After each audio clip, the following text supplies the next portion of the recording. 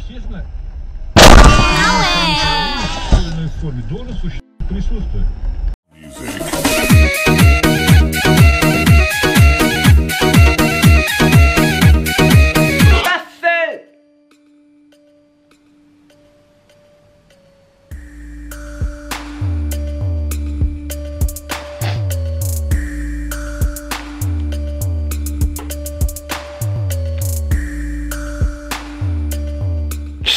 İyisin iyisin bak gayet iyisin. Kandırmaya artık çalışma lütfen. Gerçekten bu konuda kendimi çok açtığımı düşünüyorum. Nasılsınız efendim? Umarım iyisinizdir. Ben de çok iyiyim. Zaten hep iyiyim. Oo. Neyse bugün bu arada ne çekeceğimiz sizle beraber karar verdiğimi fark ettim. Çok komik bir şey değil bu o gün. Allah'ın sor gerizekalı sorumsuzu demek istiyorum sana. Doğadan gelen bitki özleriyle yeni sabun cildine dokunsun. Şimdi hatırladım. Bugün size beraber şeye bakalım istedim diye düşündüm. Bu e, en komik mimari hatalara bakacağız. Bakalım e, müteahhit olsam nasıl hatalar yapabilirmişim. Bunları size paylaşacağım.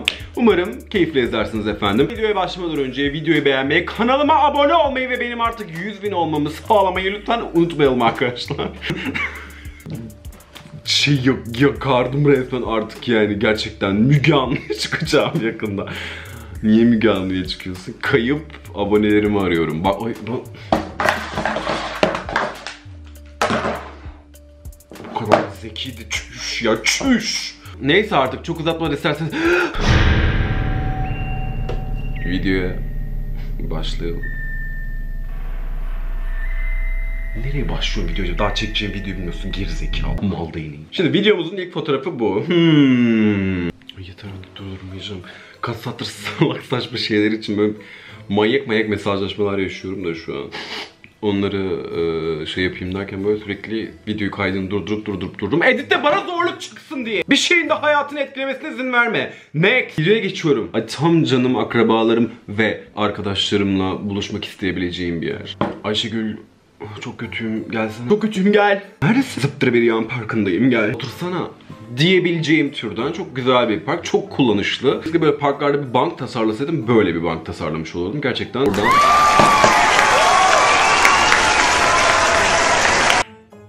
Tebrik ediyorum. Bu benim akrabalarımın çocukları için evimin çatısına kurduğum park. Seni küçük tatlı şey. Yukarıda park yaptım sizin için oynamak ister misin? Canım sıkılır burada daha küçük bir çocuksun. Tabii tabii annen kek pasta yaptığında çağıracağım. Tam bu türden bir park. Gerçekten bu kadar saçma da yani bu parkı kesinlikle e, iyi niyetli bir şekilde yapıldığını düşünmüyorum. Kardeşim o kaykaydan çocuk kayacak. Büyük olgun birisi kaysa da zaten düşer yani. Gerçekten bunu tasarlarken düşünemiyor musunuz? Baya baya sevmediği birinin acısı için yapılmış bir park bu yani. Apaçık bunun imzası bu. Şaşırttı.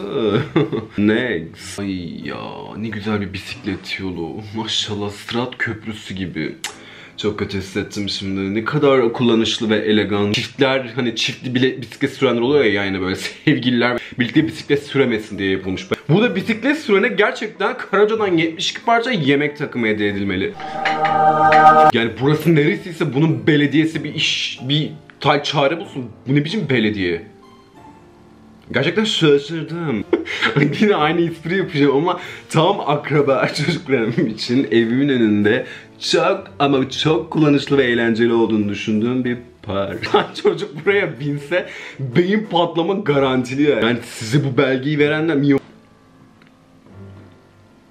Merdivenlerin yanında biliyorsunuz böyle pürüzsüz düzeyler var. Orası genellikle tekerlekli sandalyelerin insanların e, daha rahat bir şekilde çıkarılıp indirilebilmesi için yapılmış. Ama burada maşallah zeka küpü bir mimarımız da mimar da demeyi artık Peyzajcı mı deniyordu onlara ya? Ama neyse hiç umurumda değil. Kişi bunu tasarlayan kişi maşallah sanki oraya kadar gidecek insan gidecek ondan sonra ayaklanacak. Orada böyle huzura kavuşup da birden yürüyorum diyecekmiş gibi orayı merdiven yapma gereği duymuş gerizekalı. Trajik komik e, bir görsel bu aslında. Kendi kendine bir üniversite kurdun da orada okudun oradan mezun oldun acaba?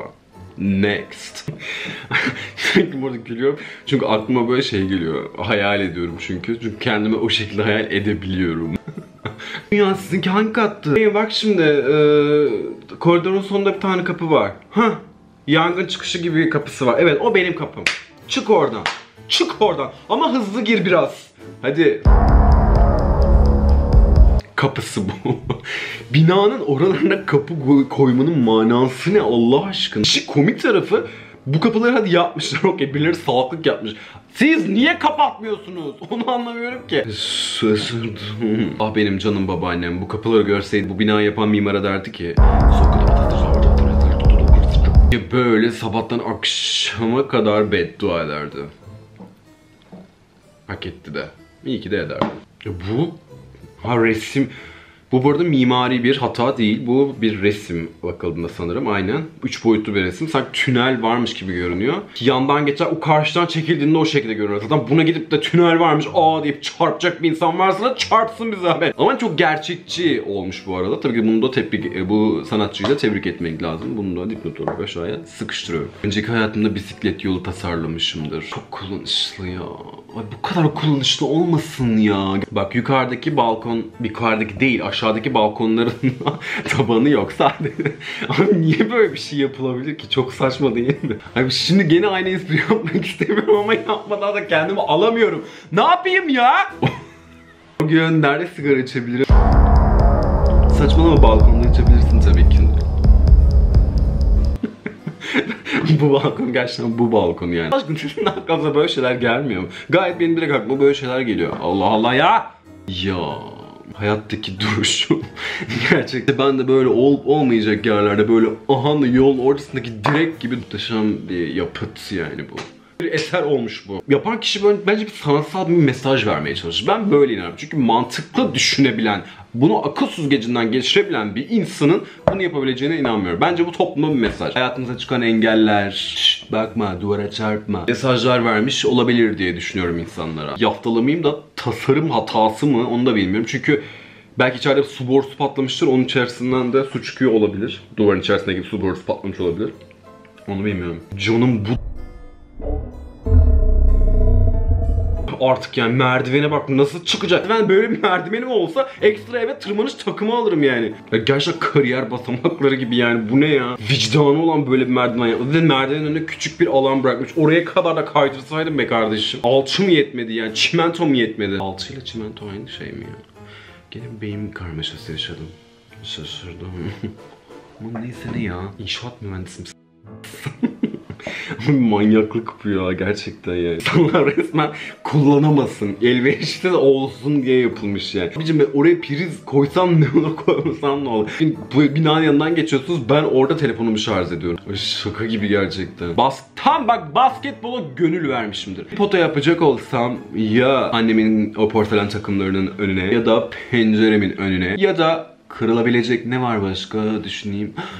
kalbimin önüne yapardım diye düşünüyorum. Tamam iğrençse iğren iğrençtim evet. Var iğrenç olmak istedim o an. E Ya bak yine muhteşem bir tasarım. Sanırım bunu tasarlayan arkadaş şey düşünmüş. İndikten sonra bak ha ama adam düşünmüş. Şimdi hakkını yiyorsunuz bebeğim. Bak şimdi iniyorsun ya indikten sonra bak orada bir Fransız balkon gibi bir şey var. Onun demirlerini bak tutunabilir olandan yapmış. Camda yapabilirdi.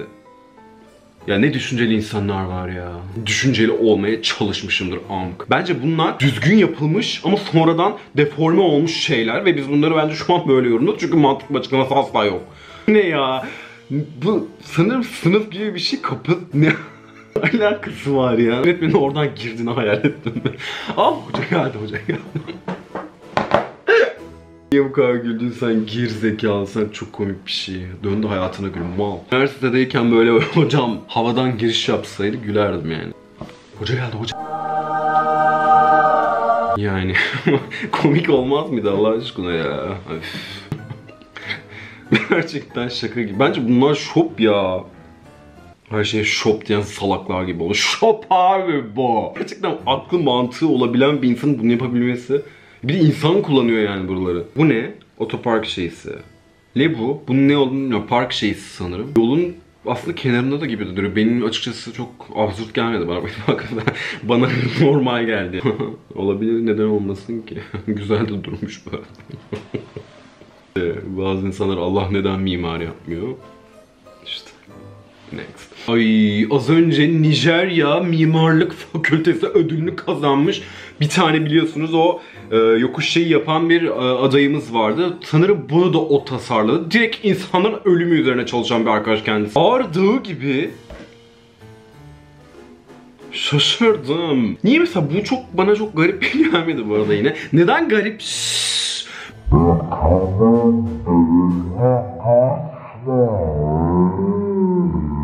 Dalga geçme bebeğim. Bir dinle. Mantıklı bir açıklamam var. Neden, neden kalabalık bir şey olduğunda mesela gidiş geliş için merdivenden indikten sonra gayet mantıklı bence. Değil mi Allah aşkına? Siz de her şeyde bir şey arıyorsunuz.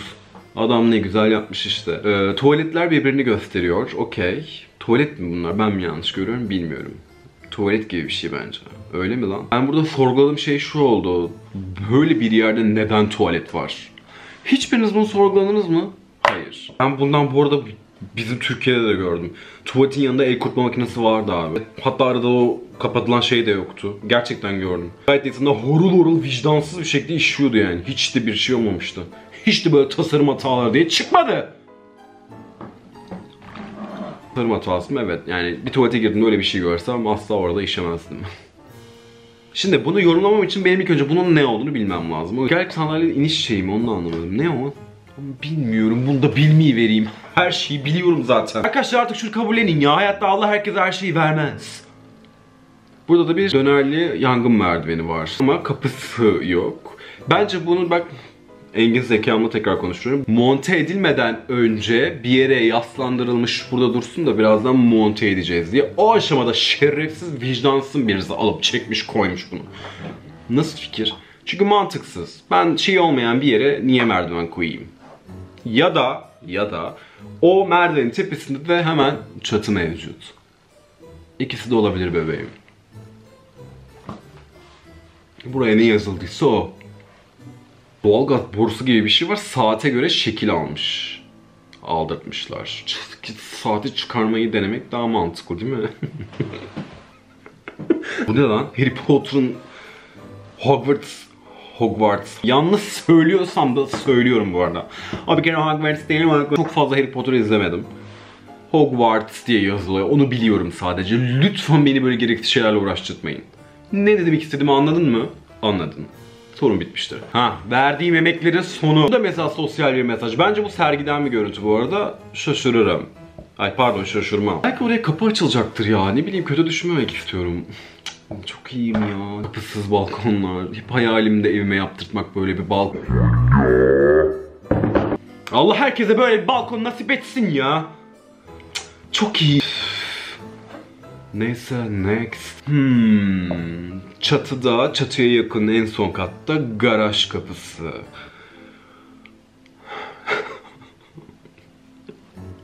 Bu videoda eğlendiğim kadar hiçbir videomda eğlenmemişimdir. Abi siz manyak mısın? Nerenin manyak numunelik salak mı? Ne alakası var? Şu an benim 11. kata dolmuş durağı yapmak kadar saçma bir şey bu.